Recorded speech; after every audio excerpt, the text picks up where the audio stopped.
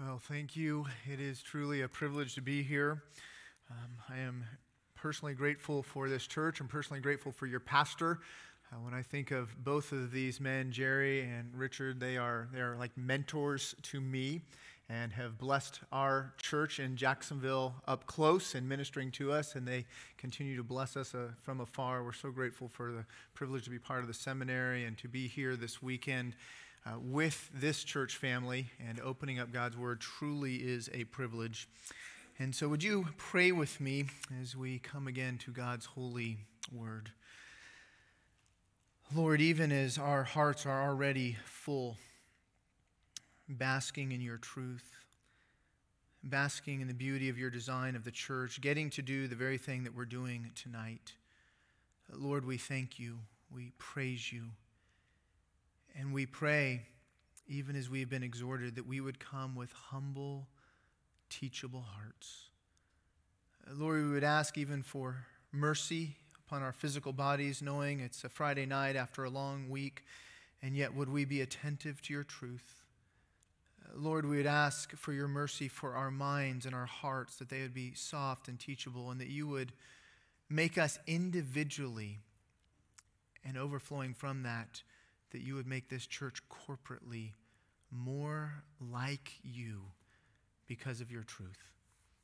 We love you and thank you and entrust this time to you for your glory. Amen. Well, if you would, open your Bibles to Hebrews chapter 10. Hebrews chapter 10. We're going to focus our attention in on the well known verses of 24 and 25, but I want to begin reading back in verse 19. Hebrews 10, beginning in verse 19, and I will read down through verse 31.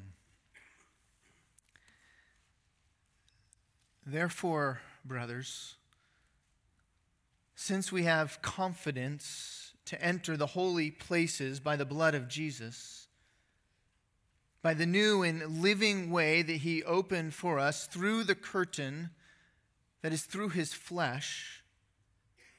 And since we have a great priest over the house of God, let us draw near with a true heart and full assurance of faith, with our hearts sprinkled clean from an evil conscience and our bodies washed with pure water.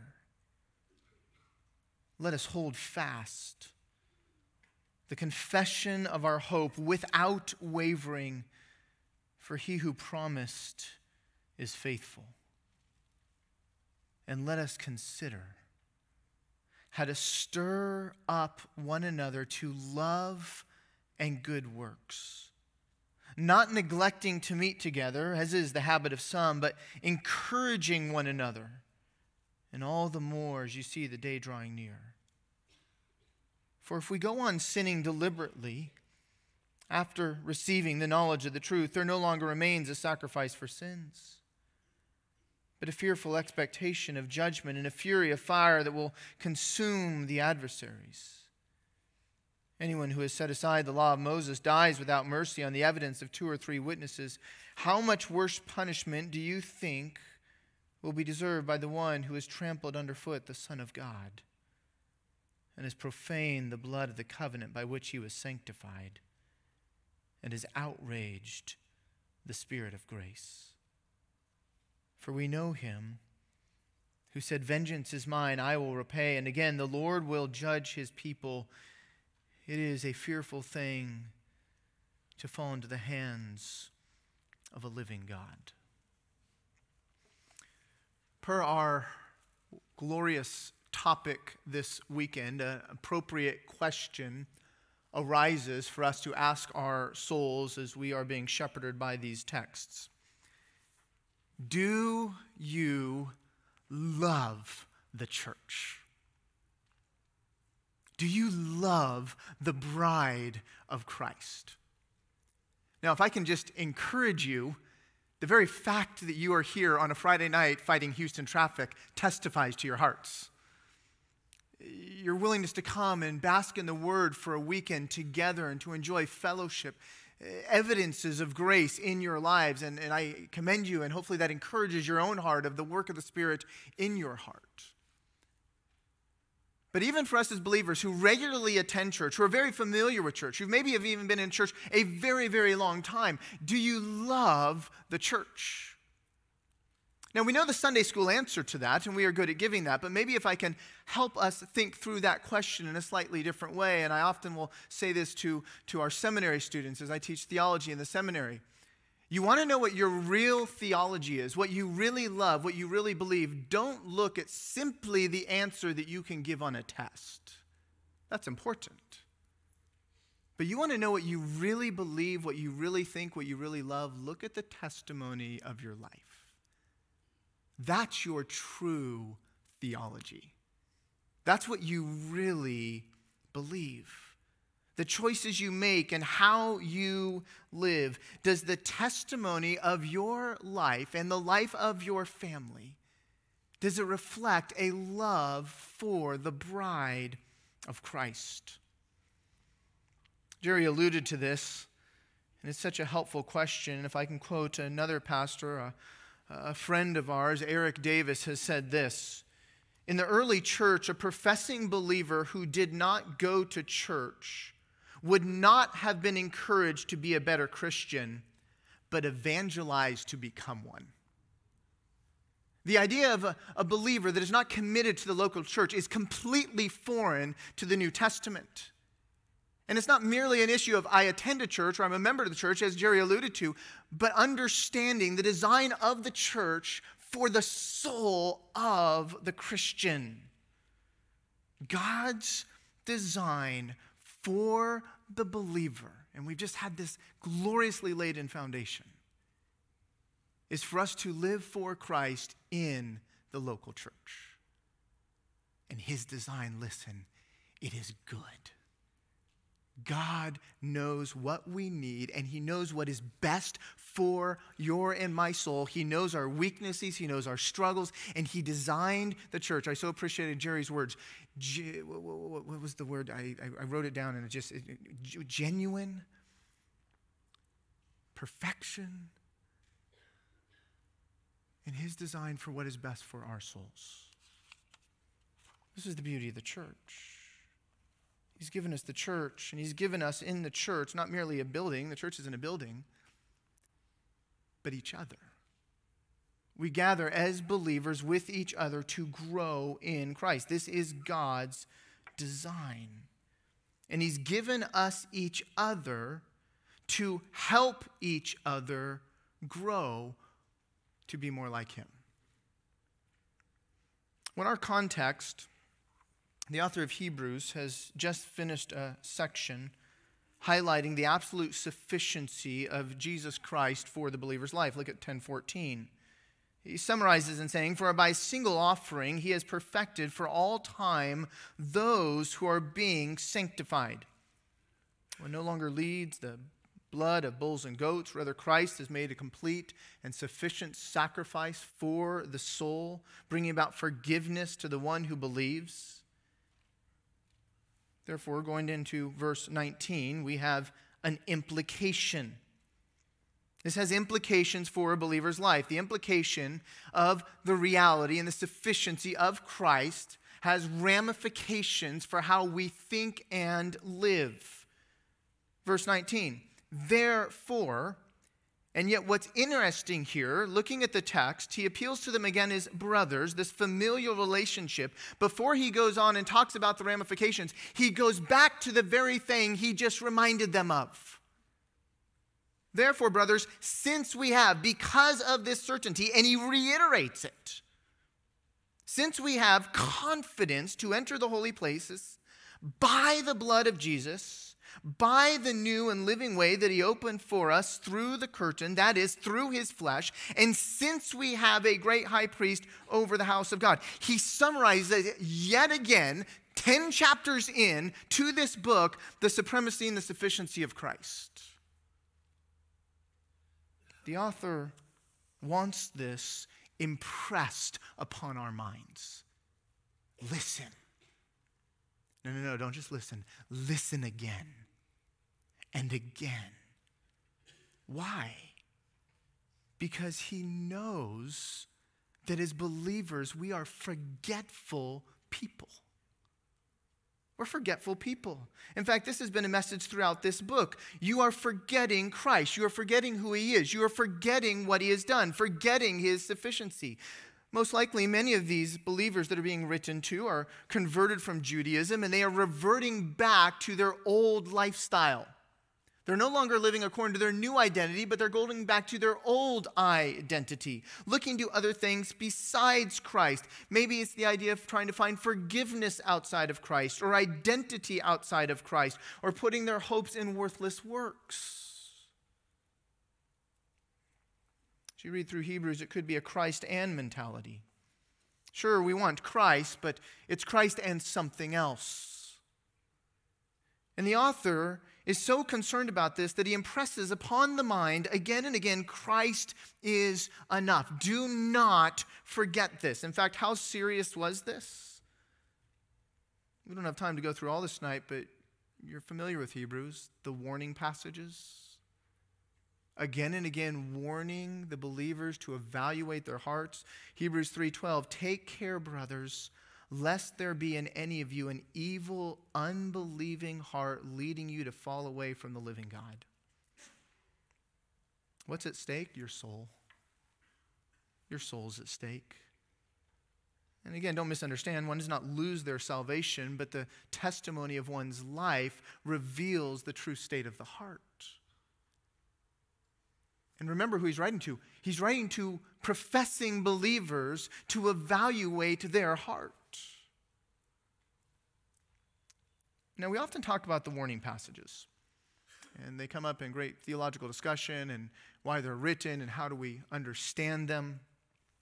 What we often forget in these warning passages is they are not a theological treatise. You know what they are? They're a pastoral plea. They're a concern for people's souls and their spiritual health. Don't forget Christ. The author is saying, I'm concerned for your spiritual health. I don't want you to abandon Christ. This is like a parent who wants what is best for his or her child and therefore instructs and encourages and reminds again and again. This is the author pleading with his readers. And this serves as a pastoral plea for our own hearts. The Lord is concerned with your spiritual state and the ongoing reality of your spiritual state. Why? He knows we forget. I would love to think that I'm exempt from that. And I'm a pastor. I do this seven days a week. And yet our heart subtly begins to stray away from Christ. And normally the straying isn't, you know, I'm just going to throw Christ out. That's not how that straying begins in our heart.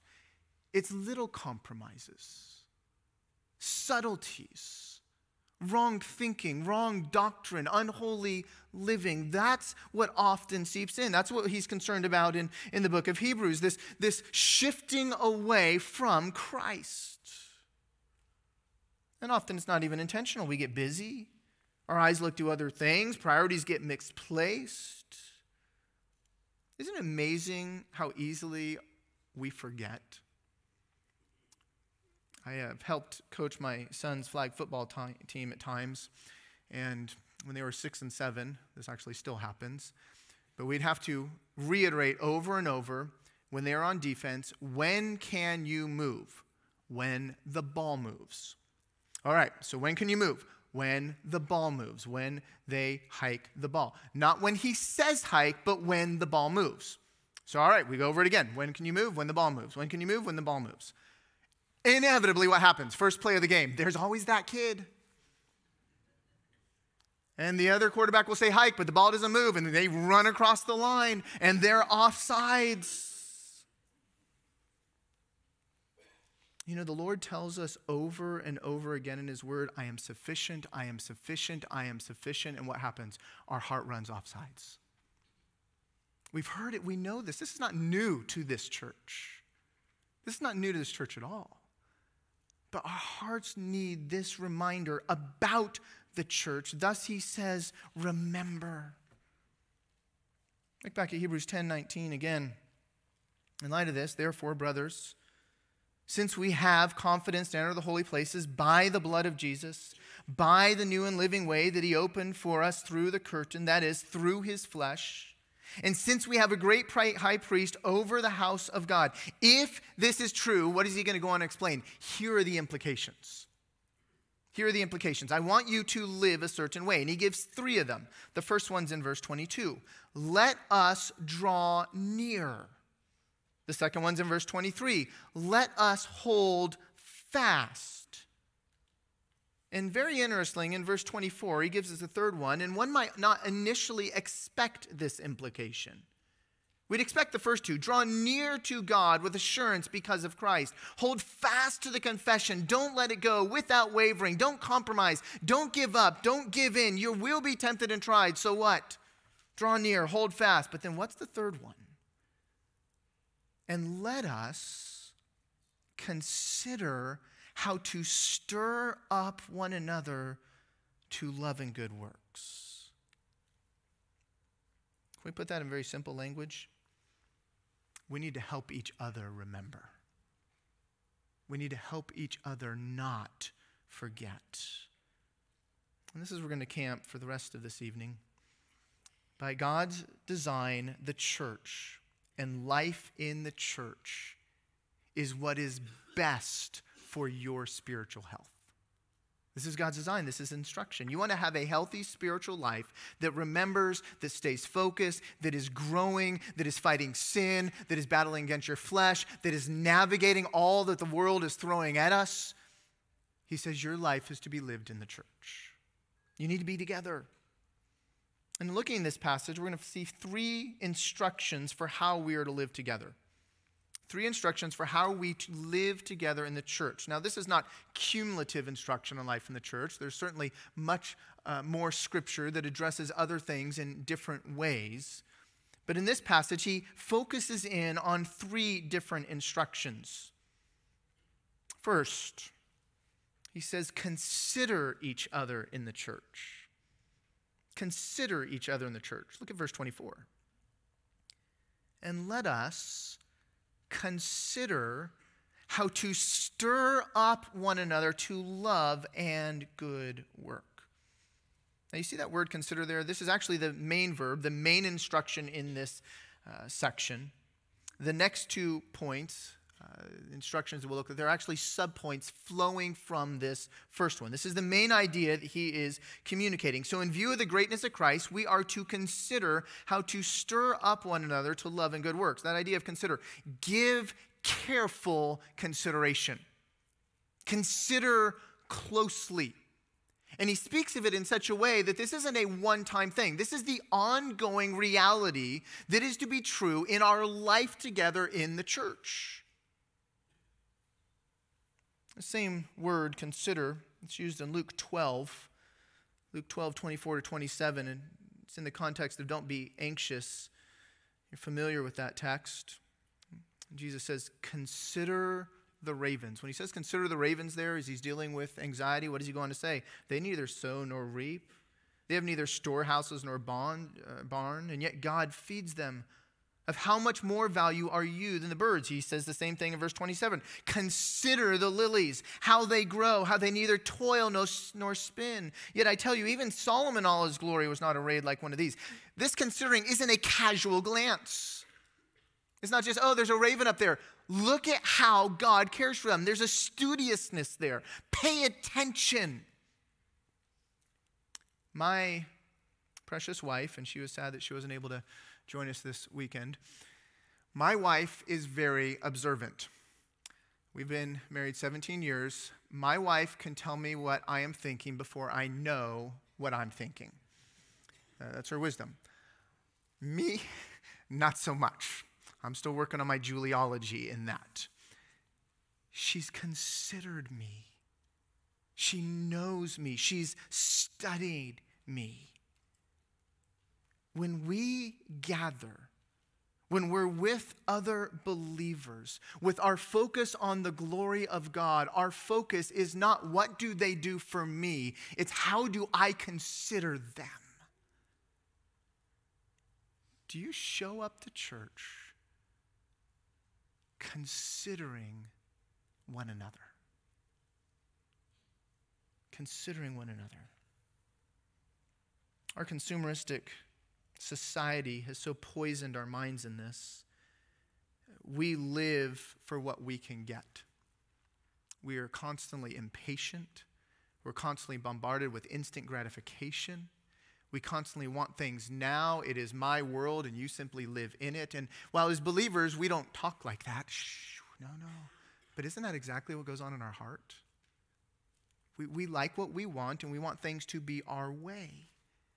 And that's leaked into the church into how we think, even in how we show up the church of, well, I like this and I like this and I don't like this. This is what Jerry talked about. We become critical, we become discontent. And in this context, we're specifically dealing with our interaction with each other. We can become consumeristic with other believers. Well, he or she's not meeting my needs. And maybe it's not even that we're completely selfish, but it actually flows into something like this. We show up to church but instead of understanding that we're gathering as the family of God that have been gloriously redeemed, it becomes a spectator sport. We show up and we just coast. We treat church almost as if we have season tickets. This is what we do on Sunday. And we'll go through our pleasantries and we have our smiles, but we're tempted to, to shake a few hands and then we leave. And that was never God's design. Uh, rather, when you show up to church, and I'm not just talking about Sunday mornings, this is life together in the body of Christ, you're on the team. Even as your pastor is preaching, you're praying and you're interacting with the Lord. He's bringing things to mind for you to grow in godliness. And then, as we've just been encouraged, as, as we gather together, as we talk, both after the morning, before the morning, during the week, in small groups, we are considering others and how to help others grow just like we're seeking to grow. Church is not about a pastor preaching, it's about a family of believers growing together into the image of Christ. This is God's design. Let us consider. And what are we to consider? What are we studious of? What's our, what are we trying to accomplish? Look back at the text.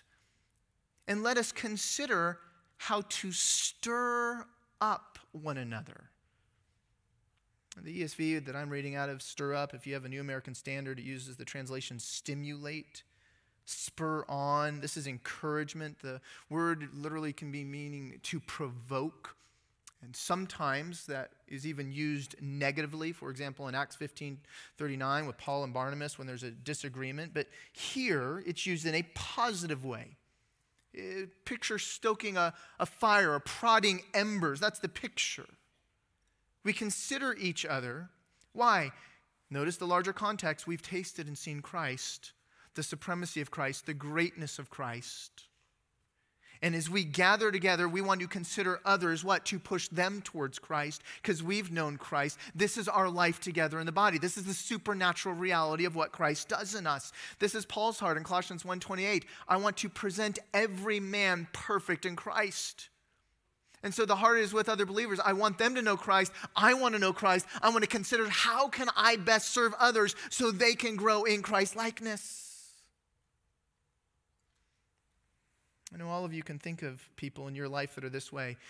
You know those people when you just being around them you just want to go home and read your Bible more. You want to be more like Christ. They aren't even doing anything special. It's just their pursuit of the Lord makes you want to pursue the Lord. This is life in the church.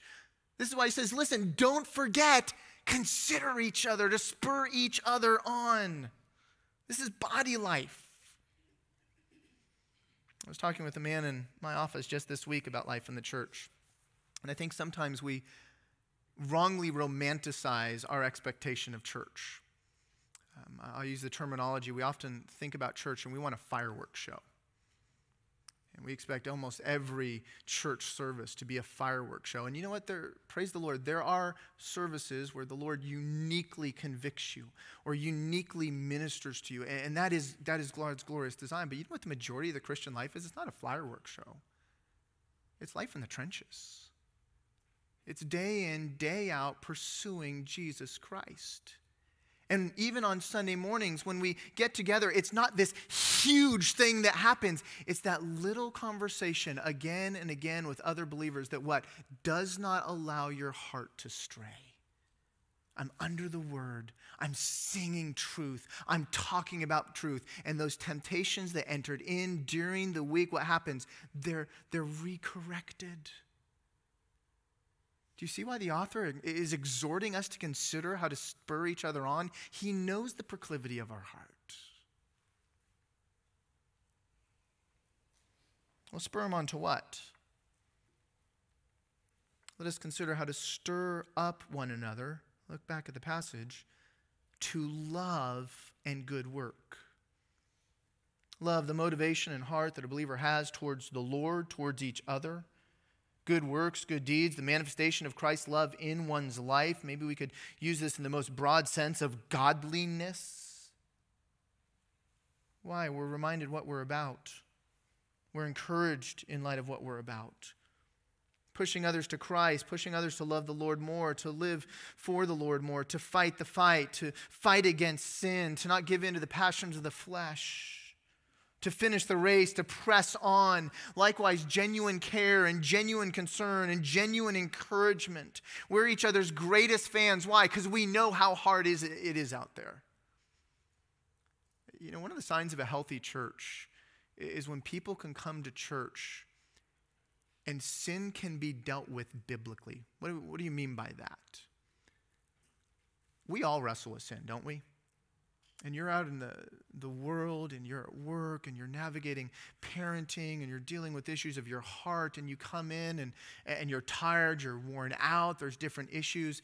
And yet to be with a group of believers that they're going to put their arm around you, they're going to tell you what you need to hear, not what you want to hear and they're going to love you and encourage you. And sometimes that means admonishing the unruly, and sometimes that means encouraging the faint hearted, and sometimes that just means helping the weak. And what is the, the end of 1 Thessalonians 5.14? We're just patient with each other because we're all works in progress. Has anyone arrived in here? If you raise your hand, you can talk to Richard afterwards. This is all of us. And yet we're to gather to spur each other on, not to say, oh, it's okay that you sin, ignore it.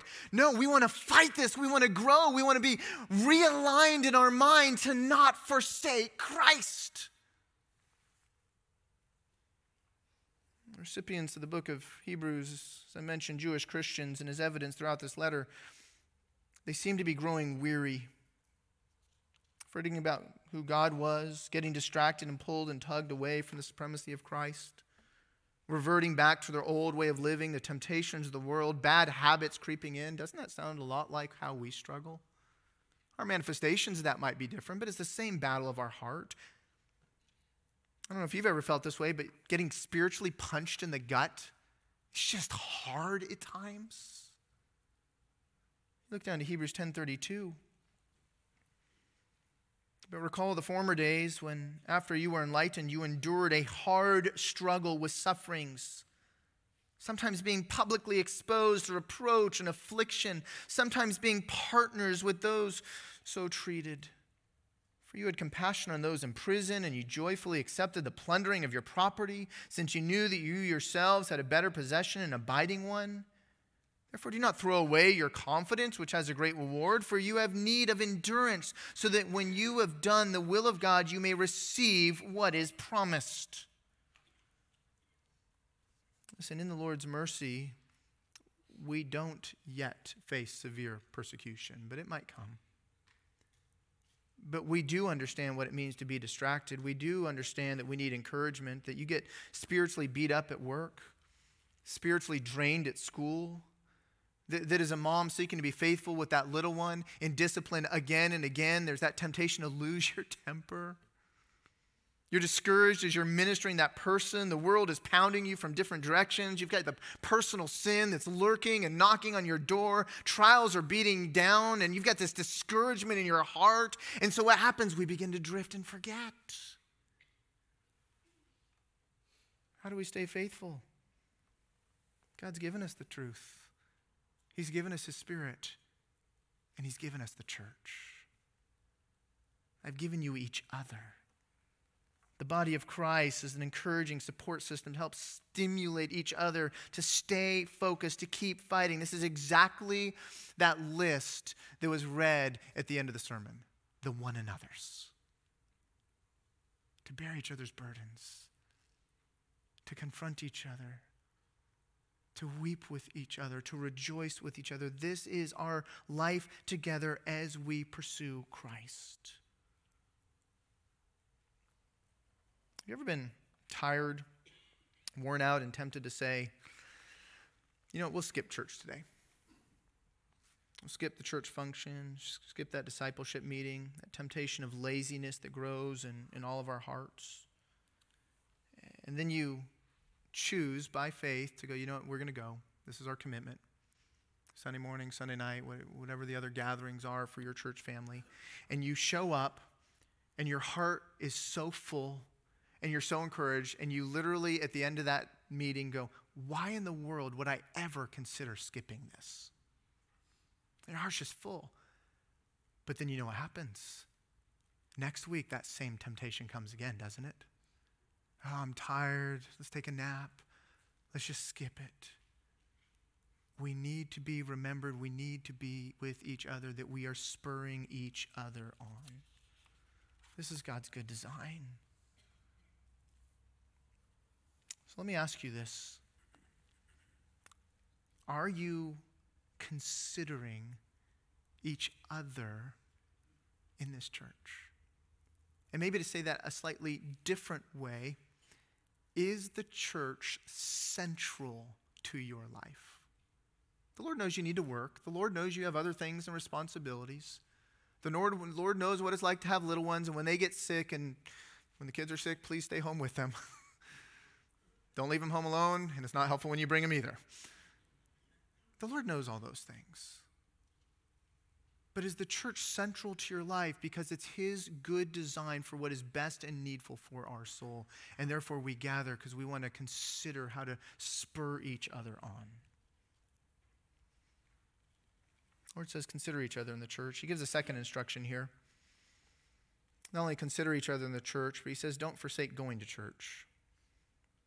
Don't forsake going to church. We need to be in church. Now, you remember I said the main idea is consider. And then we see these two participles. They're basically giving explanation of how to do this. These are supporting ideas. How do we consider each other? He helps us very practically. Verse 25 not neglecting to meet together, as is the habit of some. This seems obvious. We need to be together in order to rightly care for each other. Now, that doesn't mean you can't enjoy technology and texting and phones. I get that. But God has made us interpersonal people to relate with each other. God says, I want you together. You can't grow in Christ likeness if you are not together. There, there's something about being with a brother and sister in Christ and looking them in the eye as you are navigating life together, as you're bearing burdens together, as you have tears pouring down in pain for them. And as you rejoice as you hear the good news of a child coming to genuine saving faith, that is God's design. He says, I want you to be together. Does this include church attendance? Absolutely. The priority of Sunday meetings is the priority of being with Christ. Listen, church commitment is much more than just church attendance, but it is not less than church attendance. So often we go, oh, I love the church, but I never show up. And then I expect to be stimulated and growing. Attendance doesn't mean you're spiritual. There's the danger of the other side. You can show up as, to church whenever the doors are open. It doesn't mean you're godly or holy or growing. But I can promise you this in light of what God's word says if you're never in church, you are not nearly maturing the way God would have you design. It's not simply about showing up and checking it off the list, it's about the need of the soul. The need to be under God's word together, to need to fellowship together, to sing together, to bear each other's burdens together. Everything that was mentioned in, eh, from Acts. It's not how fast can I get in and get out. It's not a box to check. Listen, maybe if I can say it this way the issue is not attendance, it's purposeful attendance. That's the consideration. It's not mere participation. So many people fall into the idea of, well, I just went and I did my duty at church. I served and I checked that off the box and I served in this way. And praise the Lord that you're serving in that way. It's not just mere participation, it's purposeful participation of understanding why you're doing it in light of God's design. There's a sweet lady in our church that posted this one morning. She had to miss church because she was taking care of her sick kids at home. They were little. And it just such an illustration of this to me. It ministered to my own heart. She says this quote, missing church is one of the hardest things for me. It's not that I feel needed, but it's something my soul needs. The Word of God songs that direct my wandering heart to truth, and fellowship with the family of God are anchors in this ever changing, ever shifting world. She goes on to write this Online sermons and worship music on a playlist are good and helpful, but are no substitute for being with the people of God. Beloved, that wasn't a pastor's wife. That was a woman that's just like you in the ebbs and flows of life that understand her soul is more healthy because of the body of Christ. You know, I've often said to our, our church, I love the undeserved privilege to be their pastor. But I love just being a member. Just a member. My family being ministered to, my kids being taught the word, my wife my heart's being shepherded. My, my soul needs that. That's why Kevin DeYoung has said, I have never met a Christian who is healthier, more mature, and more active in ministry by being apart from the church. And I think you could line Jerry and Richard up and all their years of ministry experience, and I would add to that I have never seen someone more spiritually healthy because they were absent from church, because they didn't prioritize the church. It never happens. Why? Because God designed us to grow in a certain way. And yet, so many Christians try to fly solo today. So many Christians try to do it on their own. They're the loner Christian. They're, maybe you call it the Home Depot Christian. Do it yourself Christian. Yeah, I'll come in, I'll get a sermon here and I'll get a sermon there, but they miss the, the beauty of the body of Christ and life together. That's what does he, the author of Hebrews say? Not neglecting. This is actually a strong word. The same word is used in 2 Timothy 4:10 for Demas, in love with this present world, has deserted me. Same word, neglected me, to abandon, to leave. The same word is actually used in the Septuagint, the Greek translation of the Old Testament, in reference to Israel. And listen to this context in Judges 2:11. And the people of Israel did what was evil in the sight of the Lord and served Baals and they abandoned the Lord. They forsook the Lord. That, that's same word. Don't forsake, don't abandon the people of God. Don't forsake and abandon having your heart under the word of God. Don't forsake and abandon the need of your soul to sing theology rich worship. Don't abandon or forsake that conversation that that person so desperately needs from you. And don't forsake and abandon that conversation that you so desperately need from them. God knows we are forgetful people.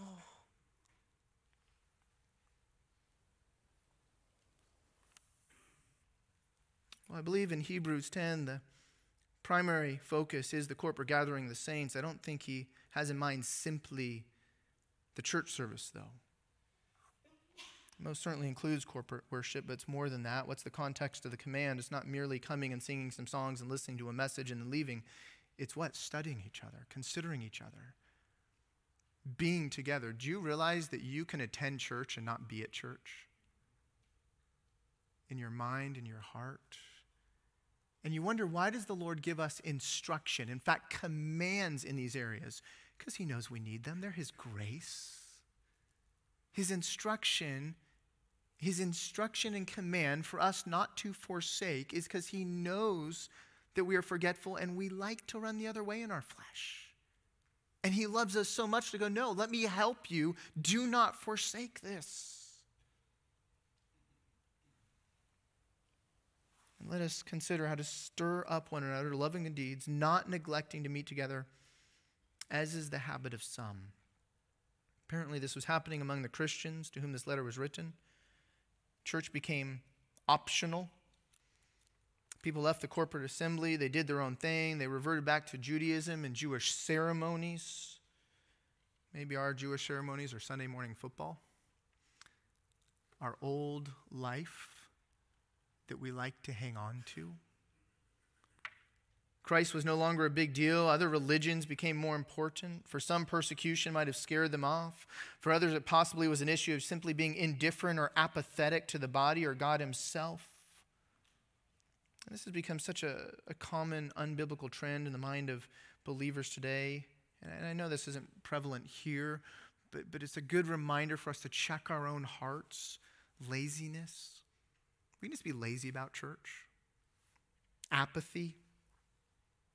Fear of man, selfishness, we just want to do other things, idolatry, sports, projects at home, you fill in the blank. Listen, for, for those of us with kids at home, and my, my kids are involved in sports, do you realize that what you do with church is teaching your children a theology about church. And when you have a pattern where sports are more important than worshiping God, why would you expect when they get into their teenage years and older that they're going to think any differently? I'm not saying this in some sense of don't play sports or you navigate those issues in your own heart, but just allow the weight of the word to shepherd your own heart. Are you abandoning the church in any way? Consider each other in the church. Don't forsake going to church. How else are we to do this? He, he deals with the negative in don't forsake going to church, but he gives us a third instruction that helps us understand this consideration of each other. He says, encourage each other in the church. Consider each other in the church. Don't forsake going to church. Encourage each other in the church. And he circles back around basically to where he starts and adds this little twist. And let us consider how to stir up one another to love and good works. How? not neglecting to meet together, as is the habit of some, but being together, encouraging one another, and all the more as you see the day drawing near. Encouraging to come alongside, admonish, exhort, comfort. This is a broad word that's used in lots of different contexts, carries the connotation of urging someone. And this is an in continual encouragement. Again, this is the lifeblood of the church. We gather under the word, we sing praises to him, and we encourage each other in our pursuit of godliness. How serious is this? Look down to verse 26. For if we go on sinning deliberately after receiving the knowledge of the truth, there no longer remains a sacrifice for sins but a fearful expectation of judgment and a fury of fire that will consume the adversaries. Why does he bring this up here? This is a warning because he knows the battle that takes place in our hearts. He knows the danger that is looking, uh, lurking out there, and he knows we need encouragement. Don't go on sinning. You need to be edified and encouraged and accountable. And just a brief note on accountability there is something about someone asking you how you are doing, and that is wonderful and necessary. You know what true accountability is? It's you availing your heart to someone else. Saying, listen, I'm wrestling. I don't trust my heart. Will you pray for me, James 5? Will you help me grow? I just want to be transparent because I know I might be blind to issues. It's making yourself accountable so that others can spur you on. This encouragement, it goes back to this idea of stimulation to come alongside. There's something about being with the body that sanctifies the soul. We, we get to grow together, learn together, serve together, glorify Christ together. We need this charge. We need this reminder. We need this discipleship. And look back at the text. What motivates this? And all the more as you see the day drawing near. Oh, how we long for Christ's return. I believe that's what he's talking about here. We are reminding each other he's coming again. This is not our home, 1 Peter 1 1. We are but aliens passing through. But we like to, we like to root ourselves into the here and now because we love this present world and we become very comfortable. What do we have each other? Spur each other on, loving good deeds. This isn't your home. That issue, listen, I'm so sorry, brother. I'm so sorry, sister. I know that hurts, but there is eternal hope. We can let go of those things. That's not our focus. That's not our purpose. That's not our identity. We long for the day when Christ returns. I love what David Doran says. He says, Why does the sun come up today? Because God's not done building his church. Listen, you aren't going to be here a nanosecond longer than God knows is necessary for him to magnify his name through your life. But until that day comes when he returns or he chooses to take you home, he says, I've got work for you to do.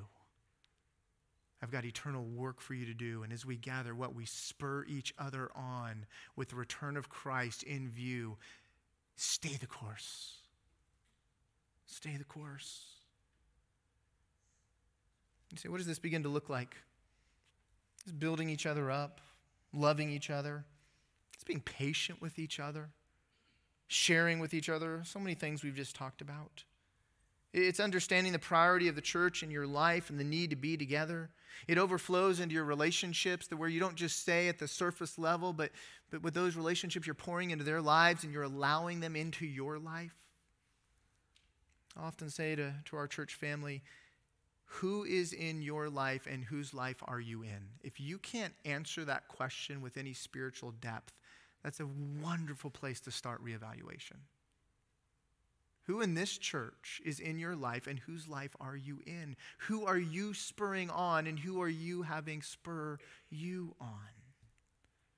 Again, it's not a checkbox, it's spiritual care. It's being attentive of, hey, so and so didn't show up to church today. I, let me not wait for one of the elders to give them a call. Let me give them a call. And this inevitably happens in a church this size. I was at church today. Great. I just didn't see you. So good. Care. Does this mean you do everything? No. Again, the issue isn't just participation. My guess is you could not physically attend everything that this church has going on. But can I go back to where we started? Do you love the church? Why? Because you love your Savior. And in loving your Savior, you love the church because you want to help other people love the Savior more and you want others to help you love the Savior more. This is command for the benefit of your soul. Are you a churchman? Are you a church woman? Yes, a Christian. And unfortunately, this has to be distinguished today. But are you a churchman? Loving the bride of Christ for which you are part of. And pray together. Lord, we love your church and are so grateful, and yet we are very aware that we are forgetful people. We know the distractions that take place in our heart, even this week, even today, even tonight. And yet, you've given us this beautiful gift of gathering together to be under your word, to sing, to fellowship. And even in our fellowship, you've designed how we are to minister to each other. Lord, we need each other. I thank you for this church. I thank you for its faithfulness. I thank you for these men and women that have sacrificed time and energy, even on a Friday night, to come and bask in your word. And would you bless them in their faithfulness that they would know the sweetness of your grace more? And that you would conform this church more and more into your image, and that that would be seen first and foremost in their worship of you and that that would overflow in a growing, genuine love and stimulation of each other. And then they would spread to proclaim your glorious name until that day that you would return. Lord, would we be those found as faithful churchmen, faithful churchwomen, all to the praise of your glory? pray this in the precious name of Christ. Amen.